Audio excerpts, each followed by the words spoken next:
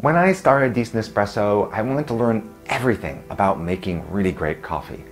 I was fascinated by the tools, the techniques, and as I asked baristas about their craft, I wanted to find out if there was anything that was letting them down, but also if they had any secrets that they could impart to me that would make making really good espresso a little bit less difficult. The end result of years of working with baristas and coffee experts and my engineers is what I call the Barista Kit. It unites all the products that we've designed here at Decent Espresso. Inside our Barista Kit, you'll find our calibrated tamper as well as baskets of different sizes that were made to fit perfectly with the tamper. You'll find that using our calibrated tamper guarantees a perfectly even tamp with exactly the same pressure so you get much more consistent espresso.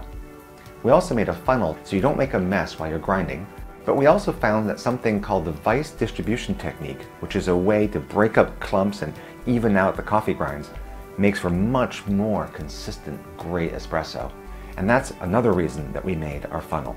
Next, I asked 23 competing baristas to help me design our milk jug because I was learning how to make latte art and I was really having trouble.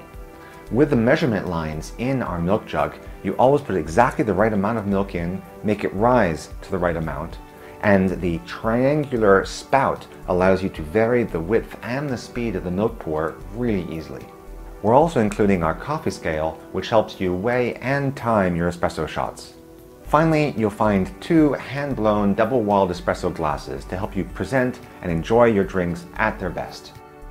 Each component of our Barista Kit represents significant innovation, not to mention years of R&D and experimentation.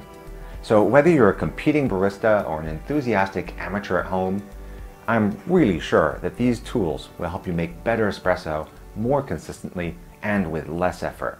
I hope you'll give them a try.